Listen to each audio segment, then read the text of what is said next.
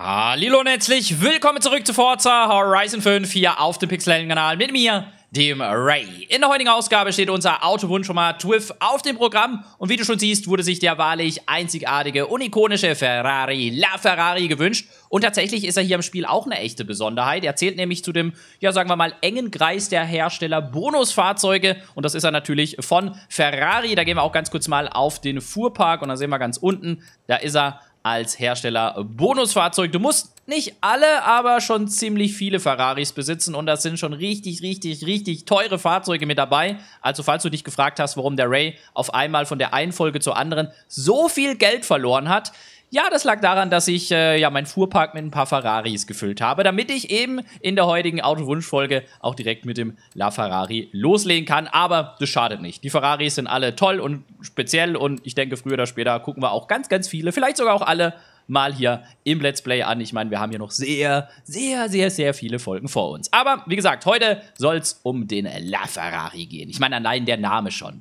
Ferrari, La Ferrari. Finde ich einfach super ikonisch, super geil und ist natürlich auch ein fantastisches Fahrzeug. Das haben wir über die ganz vielen Forza-Teile in der Vergangenheit hinweg gelernt. Und ich glaube, das hat er auch nicht verlernt. Aber ich würde sagen, das überprüfen wir einfach mal. Deswegen, ja, gehen wir direkt auf unsere Teststrecke und schauen mal, wie der LaFerrari sich da so schlägt.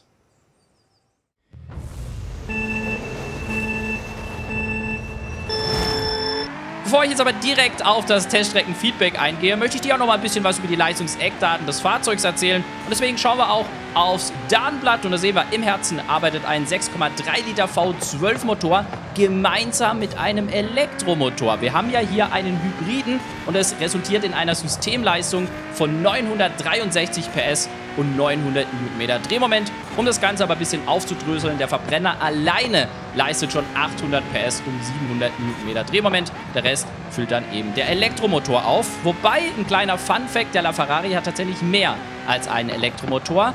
Aber der ist nicht unbedingt, oder die zusätzlichen sind nicht unbedingt für die Leistung verantwortlich. Aber dazu sage ich gleich später nochmal ein bisschen mehr. Beim Getriebe haben wir ein 7-Gang Doppelkupplungsgetriebe und beim Gewicht schlägt der LaFerrari bei gerade mal nur 1,4 Tonnen zu. Das ist echt wenig, wenn man bedenkt, hier ist ein fetter V12 drin plus Elektromotoren und natürlich auch Akkus. Also das ist schon echt wenig. Dementsprechend gelingt auch der Sprint von 0 auf 100 in 2,9 Sekunden und der Hersteller gibt die Höchstgeschwindigkeit bei über 350 km/h an. Ja, hier im Spiel, und das wissen wir schon ein bisschen länger, in Forza Horizon generell fährt er sogar über 400 km/h. Das überprüfen wir aber gleich nochmal nach der Teststreckenrunde auf der Autobahn, das ist klar. Ja, ganz kurz zu den Fahreigenschaften. Der LaFerrari ist natürlich eine Wucht, allerdings wusste ich nicht so richtig, wie ich ihn einsortieren soll. Einerseits hat er sich träge angefühlt, dann aber doch wieder spritzig und sportlich. Zum Teil sehr untersteuernd und aus den langsamen Kurven raus dann aber wieder sehr übersteuernd, klar, weil halt super viel Leistung auch da war. Also er hat sein volles Potenzial definitiv nicht ausgespielt. Also hier ein paar Einstellungen im Feintuning, dann geht hier richtig die Luzi ab. Also da steckt nochmal deutlich mehr drin, beziehungsweise eine schnellere Rundenzeit. Denn mit einer 1,48,442 finde ich die Zeit gar nicht mal so gut, gerade auch wenn man das auf den Forza internen Leistungsindex bezieht. Da hat ja der McLaren Senna den exakt gleichen und der war halt über eine Sekunde schneller. Ich meine, ich habe mal auf die Bestenliste von Horizon 4 geguckt. Die gibt es ja da auch. Dort haben sie tatsächlich nicht den gleichen Index gehabt. Da war der Sender, glaube ich, so knapp 10, 11 Punkte drüber. Der war dort aber über zwei Sekunden schneller. Also der LaFerrari hat sich zumindest mal zeitentechnisch angenähert. Ich meine, klar, die Teststrecke hier ist auch ein bisschen kürzer, aber trotzdem. Ja? Also von dem her passt es schon. Und wie schon gesagt, der LaFerrari hat so viel mehr Potenzial, der konnte das nicht so richtig ausspielen auf der Teststrecke. Ja, ich, man hat es ja auch in der Runde gesehen, hier und da so leichte Quersteher, weil ich ihn schon echt am Limit geprügelt habe. Und glaubt mir mal, hätte ich das nicht getan, also ohne die leichten Quersteher, dann wäre er sogar langsamer gewesen, weil dann wäre er zu sehr in seiner Komfortzone gewesen. Ich musste ihn da so ein bisschen rausprügeln, denn er halt hat halt hier und da so ein bisschen untersteuert. Ja, man musste immer wieder auch ein bisschen vom Gas gehen und wenn man das so ein bisschen wegnehmen könnte, in den schnellen Abschnitten das Untersteuern weg, dafür aber ein bisschen mehr Stabilität aus den Kurven raus, dann ist es eine echte Wucht, um das einfach nochmal so wiederholen zu sagen. Und dann würde er wahrscheinlich auch mehr so in die 47er Zeiten gehen. Ja? Also von dem her, schlecht ist die Zeit nicht, aber er hat deutlich mehr Potenzial. Und ich glaube, in der offenen Welt und nicht auf so einer eingesperrten Strecke fühlt er sich definitiv wohler. Und ja, offene Welt ist das richtige Stichwort. Wir springen direkt zur offenen Welt. Ich habe mich mal an den östlichen Kreisverkehr bei der Autobahn bzw. beim Highway platziert. Denn, ich habe es ja gesagt, wir machen jetzt gleich mal einen Topspeed-Test, um das aber auch nochmal ja, vorher zu zeigen, um dich da nicht anzuflunkern. Ja, der hat hier einfach mal 413,8 km/h Höchstgeschwindigkeit. Und das hat er halt tatsächlich schon, glaube ich, in jedem vergangenen Forza Horizon Teil gehabt. Aber klar, der Hersteller sagt mehr als 350. Ich würde sagen, das ist mehr als 350. Ein bisschen arg viel mehr als 350. So, dann gucken wir doch mal. Dann testen wir das doch mal aus. Und in der Zeit, wo ich jetzt hier... Wobei, ich habe mich ja nicht umsonst eigentlich in die Richtung platziert. Ich wollte nämlich mal gucken. Kann man den zum Driften bewegen? Naja, Weißen ist nämlich da. Sehr schön. Also geht. Wunderbar.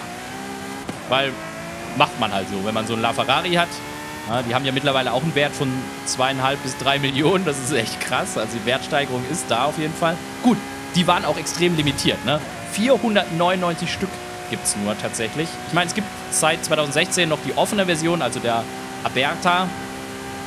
Ähm, der war dann auf 210 Stück limitiert, aber auch selbst wenn man das zusammenrechnet, ne, sind es halt knapp über 600 Stück nur, die es gibt.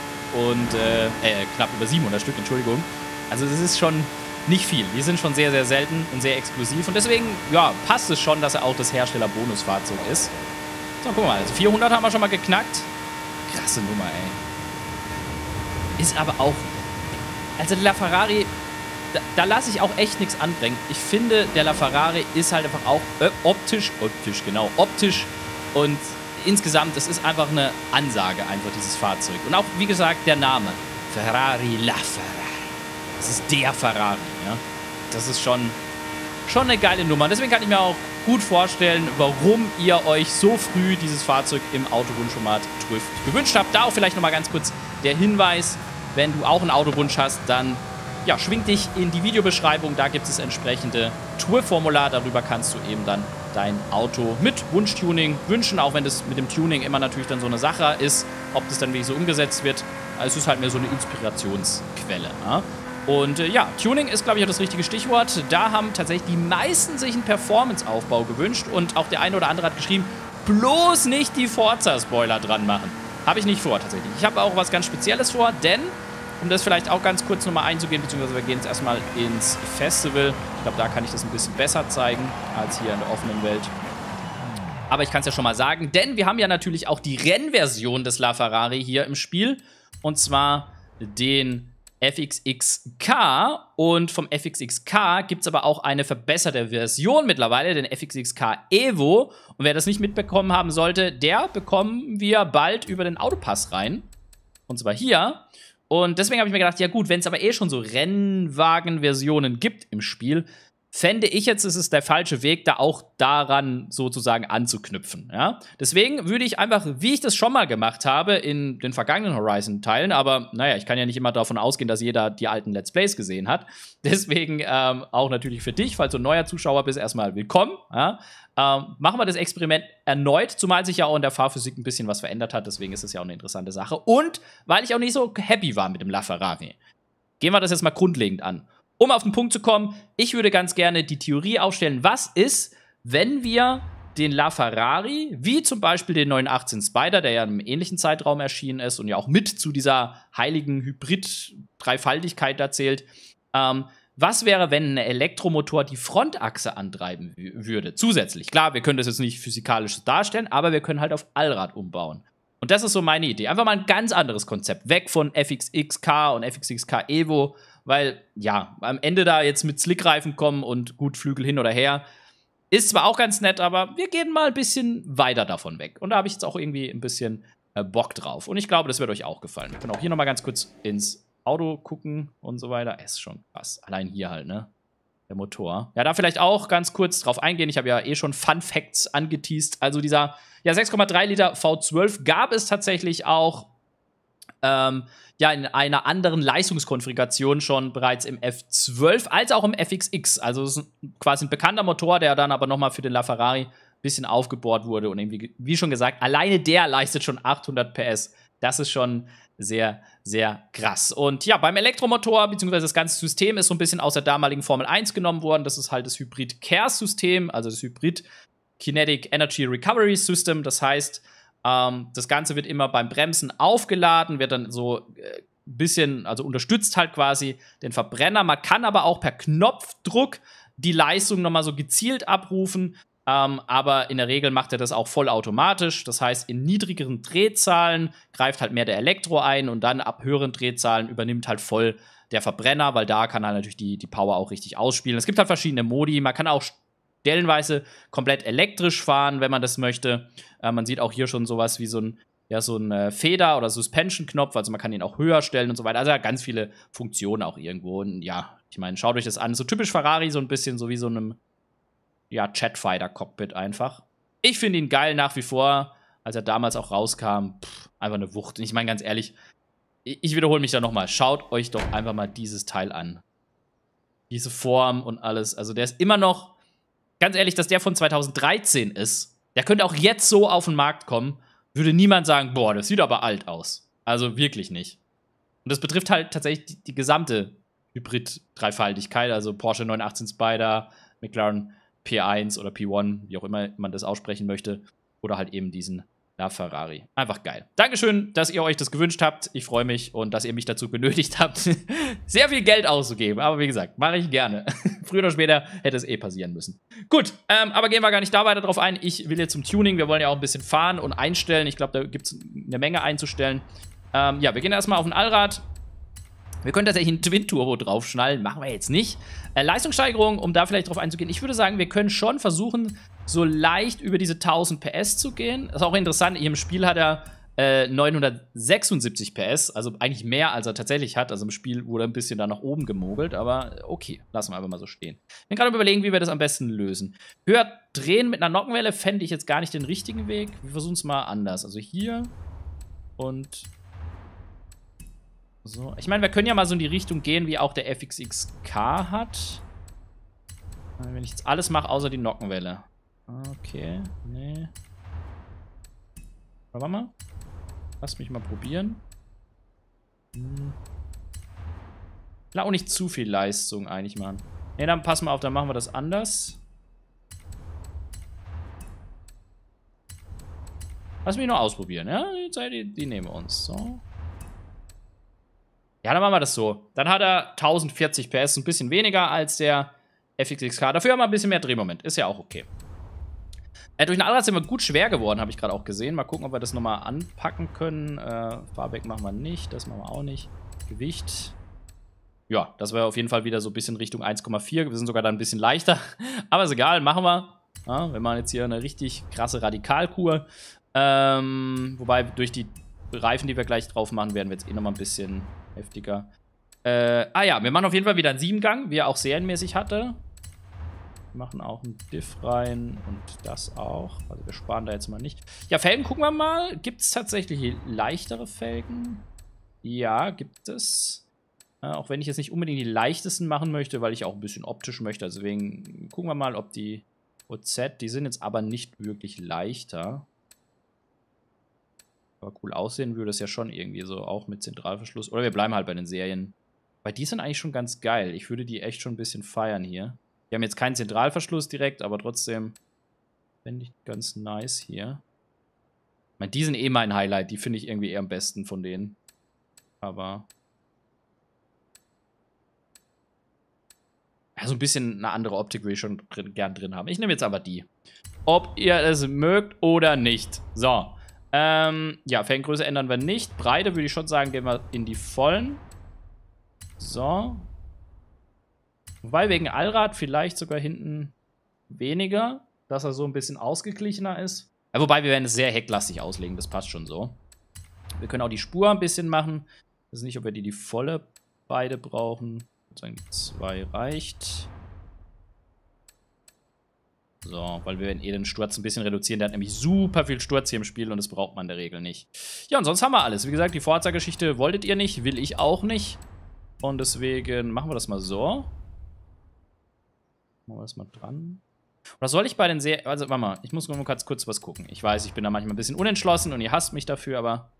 Andererseits finde ich Serienfelgen eigentlich ganz geil. Ach komm, wir lassen die. Die sind eher, das ist gleich schwer und wenn wir die einfärben, sehen die auch geil aus. Die passen einfach. Und es sind auch Zentralverschluss, also von dem passt das schon. So, machen wir. Sind knapp, also ein bisschen leichter sind wir auf jeden Fall geworden. Mehr Leistung, Allrad. Leistungsindex ist auch ein bisschen gestiegen und ich glaube, damit können wir arbeiten. Damit können wir definitiv arbeiten. Ja, beim Design, ähm, da vielleicht auch ganz kurz auf die Herstellerfarben einzugehen. Ich finde ja tatsächlich der LaFerrari, klar, in Rot ist natürlich geil. Aber was ich auch richtig nice finde, ist tatsächlich in Schwarz. Ich finde, der LaFerrari sieht in Schwarz so böse aus. Trifft übrigens auch auf den P1 zu, auf den McLaren P1. Und deswegen habe ich mir überlegt, dass wir vielleicht ein, ein, schwarzes Fahrzeug machen. Wir haben auch zwei Farbgruppen, das ist auch cool. Das Dach umfärben, aber machen wir nicht. Ähm, ich habe da schon mal ein bisschen was vorbereitet. Ich habe ja quasi diese äh, PXH Edition Designs gehabt. Ähm, hier das hier und das hier. Das sieht jetzt in dem Vorschaubild nicht ganz so cool aus, weil es hier matt aussieht. Das ist aber tatsächlich so ein bisschen so Halbglanz. Ähm, und ich habe mal was vorbereitet. Ich habe mal so ein quasi, ja, sehr dunkles Design mal vorbereitet, habe es aber noch nicht ganz final gemacht. Das würde ich jetzt gerne mit euch gemeinsam noch finalisieren. Und das einfach so ein bisschen so schwarz auf schwarz, so ein bisschen. Äh, ich finde das, also das hat schon was. Das sieht schon cool aus. Also da vorne seht ihr in der Mitte, das ist so ein bisschen anderer, das ist so ein Schwarzton, während das hier so einen leichten, so minimalen Blautouch mit drin hat. Finde ich schon ganz nice. Ähm, und deswegen gucken wir gerade ganz kurz mal, ob wir die Außenspiegel vielleicht aber dann mit Carbon machen. Ich gerade überlegen, ob das cool ist. Ich weiß es gerade noch nicht. Ups. Auch gar kein Unterschied, ob poliert oder matt, ne? Ah, gut. Oder ob das zu sehr glänzt. Das glänzt, glaube ich, ein bisschen zu sehr. Dann würden wir es doch eher so machen. Oder wir machen es... Lasst mich mal ganz kurz gucken, wenn ich das so mache. Dass man das halt quasi ein bisschen auch auf den etwas komplett schwarzen Ton anpasst. So, war vielleicht ein bisschen heller. Aber es sieht dann ein bisschen besser aus. Dann ist es so ein bisschen einheitlich. Ja, machen wir so. Wunderbar. So, und jetzt bin ich halt gespannt. Felgen, äh, Farbgruppe 1, würde ich sagen. Können wir fast schon die Lackfarbe sogar machen. Vielleicht ein bisschen heller. Mal ganz kurz, mache ich mal das mal ein bisschen.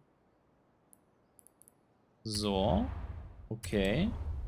Die zweite Farbe ist, glaube ich, schon ganz cool. Das ist, ist ja quasi schon hier. Ah, das könnten wir. Wobei würde ich tatsächlich auch eher so halb glänzend machen. So. Ein bisschen Spielerei, ne? Optik muss auch sein. Ist komplett schwarz. Ja, machen wir einfach. Machen wir einfach. Und äh, jetzt ist halt die Frage. Was machen wir mit den Bremssättel? Lassen wir sie rot, weil es einfach raussticht? Machen wir sie... Äh, was? Die kann man nicht. Was? Da hat Ferrari was dagegen. Okay, ja, dann müssen wir sie rot lassen. Ansonsten hätte ich jetzt überlegt, ob ich die gelb mache oder auch eben schwarz. Aber gut, dann ist es halt so. Dann ist es halt so. Dann machen wir hier auch leichte Tönung und dann, äh, ja, bei aktuellem Autospeichern. Design gebe ich frei. Ich mache jetzt einfach mal, ähm, keine Ahnung, äh, benenne ich das mal. Ich nenne das einfach Black Edition. Oh. Gab es ja auch als die PXH Black Editions. Waren immer ganz besondere Editions, aber in dem Fall ist es jetzt einfach nur eine Black Edition Design ohne PXH. Äh, das muss ich noch ganz gucken. Meine Designs muss ich das jetzt nämlich umbenennen.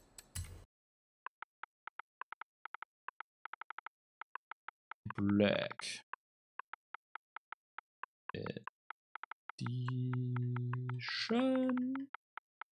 Sehr schön. Und dann freigeben. Und dann machen wir aber trotzdem PXH Design. Und ja, äh, wenn ihr das jetzt sucht, dann einfach nach Ersteller suchen am besten. Nach meinem äh, Nickname ist Ray90, seht ihr auch oben links eigentlich meistens irgendwo an. Ja, genau, Ray90. Da einfach danach suchen, dann findet ihr das schon. So, jetzt haben wir aber genug Zeit verdrödelt, aber das war es wert. Glaubt mir mal. Das sieht jetzt richtig geil aus.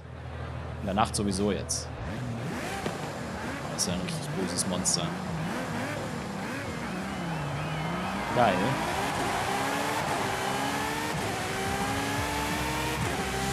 Ja, nice. Dann ähm, würde ich sagen, ich fahre mal ein paar Meter, bevor wir jetzt gleich ein Rennen oder so starten. Das machen wir natürlich auch noch. Ja, der absolute Praxistest.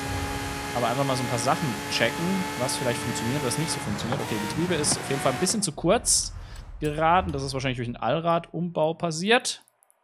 Weil der wird ja weiterhin noch seine 400 ballern. So ist es, sogar weit drüber. Haben wir auch ein bisschen mehr Leistung. Reifendrücke würde ich erstmal lassen. So, hier glaube ich, braucht halt einfach nicht so viel. Definitiv nicht. Deswegen reduzieren wir da mal drastisch. Ähm, da würde ich auch ein bisschen erhöhen. Da würde ich ja einfach die, die, die Standardeinstellung. Stabi ist auch interessant. Da würde ich ihm vorne schon ein bisschen weniger geben. Wo, wobei braucht er so weiche Stabis insgesamt? Ich glaube nicht. wir machen den insgesamt einfach mal ein bisschen.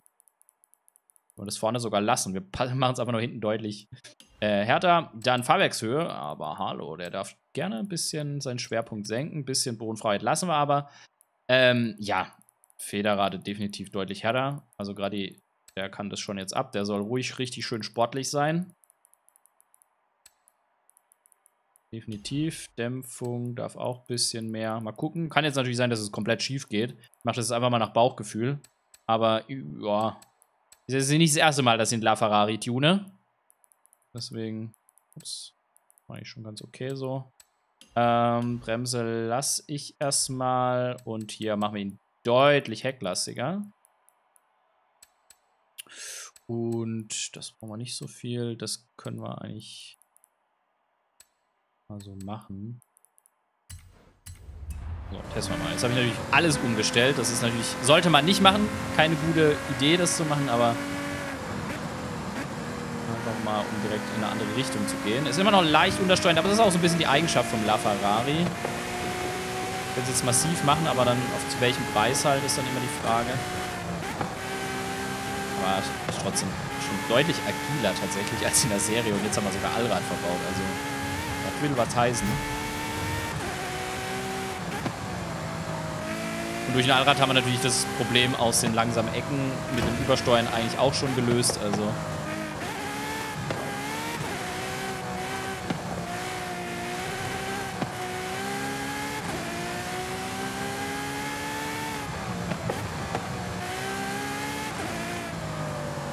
schon ganz gut. Okay. Ja, die Stelle ist natürlich super eng. Was man jetzt mal probieren könnte, ich biege jetzt mal da vorne gleich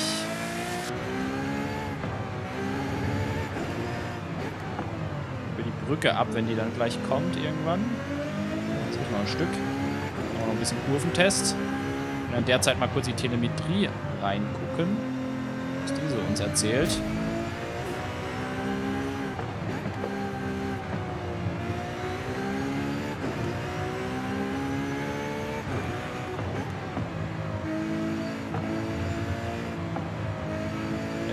Interessant. Okay, das ist krass. Also, ja. Wir können hier deutlich ein Stück zurückgehen. Das äh, verträgt er ganz gut.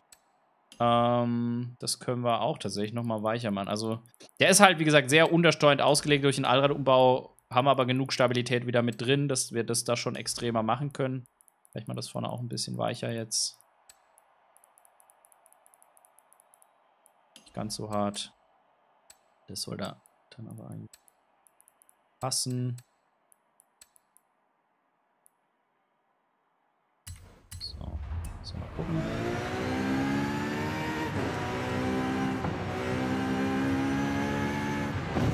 So, hier war die Brücke, glaube ich.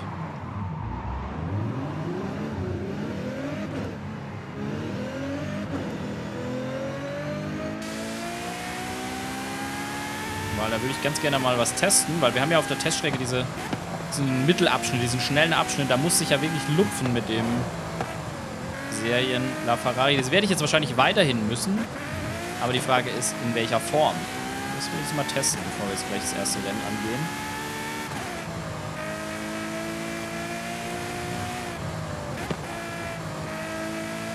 Ja, und ich erwähne, oder ich habe ja vorhin erwähnt, eben Wunsch über das Wunschformular. Das habe ich halt auch nochmal erwähnt, weil es immer wieder Leute gibt, die halt ihr Wunsch in die Kommentare schreiben, klar, weil man es vielleicht nicht besser weiß. Das will ich jetzt auch gar nicht irgendwie verurteilen. Äh, möchte ich einfach nur darauf hinweisen. Also wie gesagt, wenn du einen Autowunsch hast, dann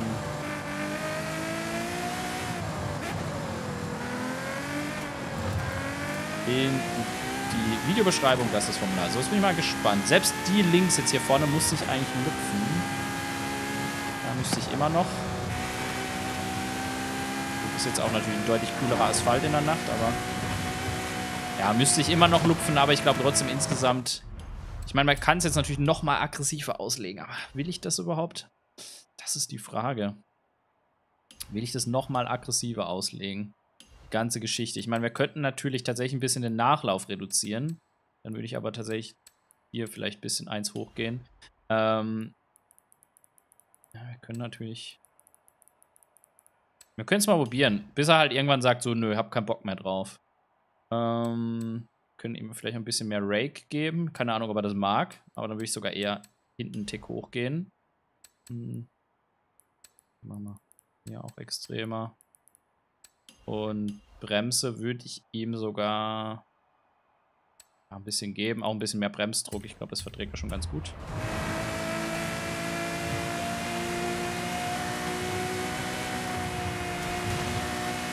Ist halt echt krass. Der schiebt übelst nach vorne weg bei den Schnellen. Also ich, ich habe halt so das Gefühl, dass die berechnete, der berechnete aerodynamische Anpressdruck bei dem Fahrzeug halt wirklich sehr hecklastig ist und deswegen ist dieser Effekt so. Weil hier in diesen langsamen Kurven ist der super geil.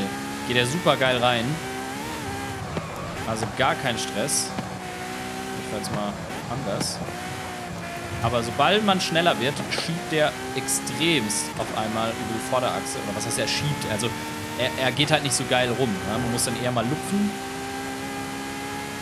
Und äh, ja, ich meine, ganz ehrlich, um da mal ganz kurz, ich gehe jetzt einfach mal in Fotomodus und nutze das mal hier aus. Ich meine, der LaFerrari hat ja extrem krasse aktive Aerodynamik, ne, mit, diesem, mit diesen Flaps hinten, die dann hoch und runter fahren, der Flügel natürlich, dann auch die ganzen, das ist so geil, diese versteckte, das mag ich ja so an Ferrari, diese ganze versteckte Windkanäle, die durchs Auto führen und halt auch für extremen Anpressdruck sorgen. Also die haben halt jetzt nicht das so gelöst, wie zum Beispiel Porsche mit riesen Heckflügeln, was ich natürlich auch geil finde auf, auf ihre Art, aber so finde ich halt, schafft es halt Ferrari Eleganz und ja, Sportlichkeit und alles halt echt zu vereinen. Und das ist schon nice, weil halt alles so ein bisschen versteckt ist. Es ist ja quasi beim äh, 458 Speziale oder dann jetzt beim 488 oder dann auch beim 488 Pista oder jetzt auch beim F8 Tributor und so weiter. Bei allen jüngeren Modellen, sag ich mal, ist es ja tatsächlich auch dann mitgekommen und ist ja auch so passiert. Und das ist ja schon nice auf jeden Fall. Ja, ich, ich weiß nicht, ob ich es noch aggressiver machen möchte, weil ich habe nicht so das Gefühl, dass er wirklich mehr Grip über die Vorderachse aufbaut. Weil das wichtig die Aerodynamik ist und die können wir nicht ändern. Deswegen würde ich es einfach mal so lassen. Ich meine, es gibt ja auch noch so ein Gefühl von Stabilität. Man muss es halt wissen. Das ist halt so ein bisschen dann die Eigenschaft. Weil ich glaube, wenn ich jetzt noch aggressiver alles einstelle, dann rutscht, fängt er irgendwann an, so wegzurutschen, dass wir da nichts mitgewinnen. Außerdem wollen wir noch ein bisschen Rennen fahren und deswegen würde ich jetzt einfach mal sagen, machen wir aber mal ein schönes Rennen. Beziehungsweise vielleicht eine Straßenszene. Ich habe noch gesehen, ich habe noch einige Straßenszene-Rennen noch nicht gemacht. Ähm, hier zum Beispiel. Machen wir mal. Dann gucken wir mal, wie wir uns anstellen. Und vielleicht mache ich ja nochmal nach der Folge quasi zwischen Beendigung dieser Aufnahme und Erscheinen der Folge nochmal ein bisschen was an, an, an den feinen Tuning-Einstellungen. Ich glaube, wir lassen es erstmal so. Und dann gucken wir mal weiter. Aber ich finde, das habe ich ja schon mal gesagt, gerade in den Twiff-Folgen finde ich, ist Tuning und Feintuning nimmt natürlich ein etwas größerer Part ein als in den meisten anderen normalen Let's Play-Folgen hier. Und ich glaube, das ist aber auch ganz gut so, weil ich meine, es geht ja auch nicht nur ums Wunsch-Fahrzeug, es geht ja auch so ein bisschen ums Wunsch-Tuning. Und ich habe ja mass massiv euch einen Performance-Aufbau gewünscht. Und performanter ist er auf jeden Fall. Also, da glaube ich, müssen wir nicht drüber reden. Und er macht schon Bock aufzufahren. Man muss es halt nur so ein bisschen einschätzen können dass man wirklich jetzt nicht den absoluten Über-Kurvenräuber hat, aber er fährt sich auf jeden Fall deutlich besser als in der Serie, finde ich, in diese Kurven rein. Und ja, ich muss mal hier die Fotos machen. Jetzt haut ihr mich wieder, dass ich wieder die ganzen Fotos vergessen habe. So. Sehr gut. Oh! Ja. Vor lauter Foto machen. nicht gesehen, dass ich hier abbiegen muss. Okay, das wird nicht mehr reichen, oder? Okay, da spule ich noch mal ein bisschen weiter zurück. Entschuldigung. Sind jetzt die Fotos auch weg, weil ich so weit zurückgespult habe? Das wäre ja auch lustig. nee, natürlich nicht. Das wäre auch ein bisschen komisch.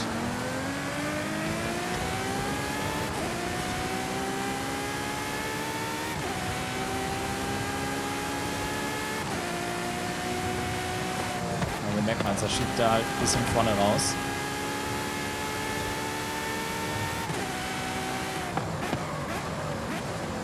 Interessant. Er blockiert dann doch schon mehr Okay, Bremsbalance müssen wir doch vielleicht doch nochmal eher wieder in die Mitte machen oder sogar leicht nach hinten setzen. Weil er dann doch in die schnellen Kurven rein dann so viel Last da vorne reinbringt.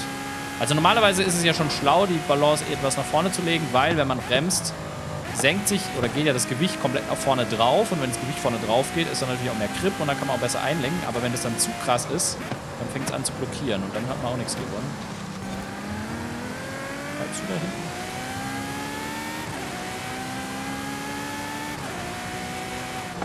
Ja, nicht mal gucken, da wir ja bald eben den FXXK, FXX, FXXK, boah, Evo bekommen. So, bin ich noch mal überlegen, ob ich vielleicht noch eine Folge zwischenreihen mit dem normalen FXXK reinstreue oder halt dann in der Folge mit dem FXXK Evo dann den normalen FXXK nochmal fahre. Einfach um so einen Vergleich zu haben. Mal gucken.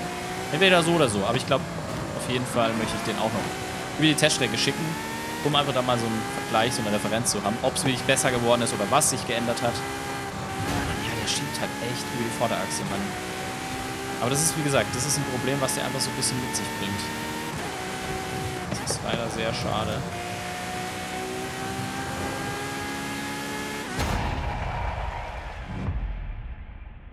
Sagt manche einer, ja, jetzt halt kein Allrad verbaut. Aber ja, an einem Allrad liegt es nicht. das können wir glauben. Also klar, der Allrad kann natürlich dafür sorgen, dass es auch extremer ist, aber ja, müssen wir mal gucken, nicht wahr? Äh, ich will noch mal eine Sache ausprobieren im Einstellen. Und zwar würde ich tatsächlich mal probieren, ihm doch noch mal ein bisschen einfach mehr ja, Möglichkeit geben zu arbeiten. Und äh, ich würde ihm vielleicht dann doch nochmal vorne das etwas weicher legen lassen. Vielleicht auch ein bisschen, aber nicht so viel. wobei, ich würde den schon so, dann würde ich hinten ein bisschen mehr so. Äh, das will ich wieder auf jeden Fall ändern. Vielleicht mal in die andere Richtung probieren. Und hier vielleicht weniger sperren lassen. Und dann würde ich tatsächlich hier mal einen deutlich extremeren Wert gehen. Und ja. Dann gucken wir mal, ob das vielleicht hilft. Ja, wobei, das würde ich hinten schon gerne lassen. Ja, das nochmal ganz kurz. Ja, wie gesagt, im, da in dem Bereich, wo der mechanische Grip gefragt ist, da macht er das richtig gut. Und, so und wenn er schneller wird, also wie gesagt, die Theorie würde ich jetzt einfach mal aufstellen, ob das so ist. Keine Ahnung, kannst du gerne auch mal du selber testen, ob du das auch so siehst. Aber ich habe so das Gefühl, dass einfach der serienmäßige der aerodynamische Anpressdruck bzw. die Balance sehr hecklastig ist und deswegen kriegt ja vorne halt einfach keinen Anpressdruck hin. Das ist so meine Theorie. Ich würde jetzt vielleicht so eine Rathauslüftung oder so vorne helfen, weil die sorgen ja auch in der Regel nicht nur für ein bisschen Entlüftung, sondern auch ein bisschen für Anpressdruck.